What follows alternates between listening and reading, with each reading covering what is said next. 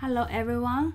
Uh, this video is the follow-up for the previous video talking about remove because there are some unexpected behavior happened while I was uh, recording the video and uh, I don't want to start from scratch to record everything again so I just leave the mistake there previously what I'm thinking is uh, when we get using get reference with uh, remove together, it only make one database hit.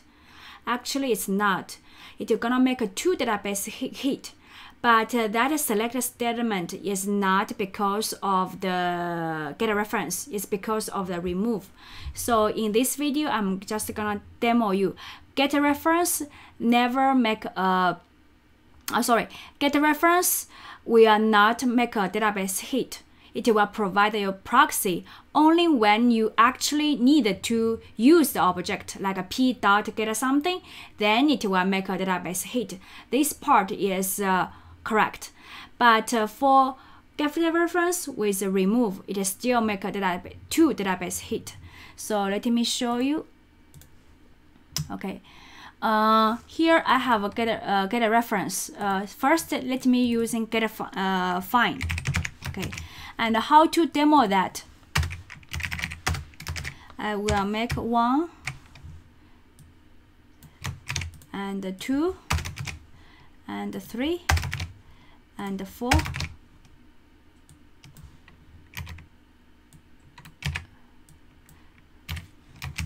So we have the SQL, right, executed by the Hibernate.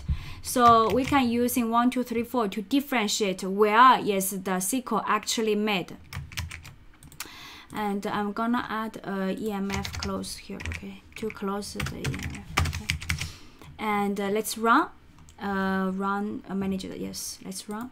And you will see uh, before this one we will have the two insert statement which is for these two. And uh, in the find we will have a select statement and we'll have nothing between them. And only when we commit we will see the delete okay? This uh, we will talk about later because of the cache mechanism uh, provided by Hibernate. It will trying to wait for the last moment to actually do the update or remove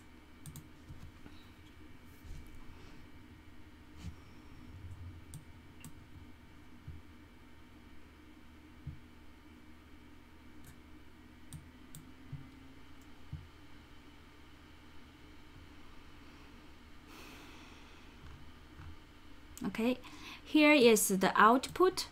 You can see before one we have two insert statement made by hibernate. And then we have one one. And when we have find you you will see immediately it's gonna have a select statement. See here? And then we have two two. And when we do remove okay when we do remove between two and three 2 and 3 we have remove but actually hibernate will not remove immediately. It will wait for the last moment. What are the last moment? When you do a flush when you do a commit when you make a new query query statement it's gonna push every all the changes to a database okay? Wait for the last moment. So you will see between 2 and 3 nothing. 2 and 3 nothing but uh, between 3 and 4 we have a commit Commit means um, make the changes to a database. So between 3 and 4, you will see a delete statement. This is when we have a find. Okay, find will immediately make a select. See here, between e 1 and 2, you will have a find. Okay, now if I using get reference, when we're using get reference, get reference won't make a query to the database unless you really use this object. What does means use? Suppose I want from the book, I want to retrieve for the title. Okay, and in the proxy doesn't have a title, so it must to make a call to the database. And uh, let me show you in this case, it's gonna be have a slightly difference between them. Okay.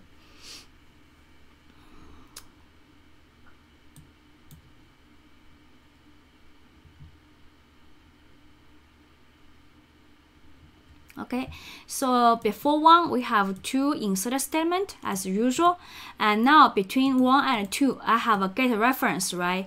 And between one and two you can see Hibernate didn't make any call to the database. So get reference will not issue a call. The pro the B hold the object is a proxy which Hibernate provide for you. And between 2 and 3, we are trying to remove B. 2 and 3, it will make a select statement. Okay, this select statement is not made by get reference, it's actually made by the remove. And then between 3 and 4, okay, 3 and 4, it will make a delete.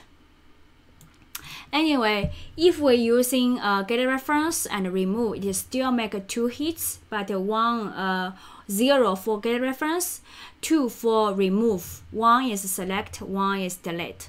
Okay, so uh, that's it uh, for the get reference, and uh, this is also uh, new to me, uh, which uh, which I feel really sorry for that anyway so after this uh, we are clear about uh, what actually doing. And uh, so when we do when we program using hibernate it's better to actually turn on the show SQL and uh, it will clearly know what what kind of SQL actually hibernate uh, uh, executed to the database. Okay. So that's it for this video. Thank you for watching. See you next time. Bye bye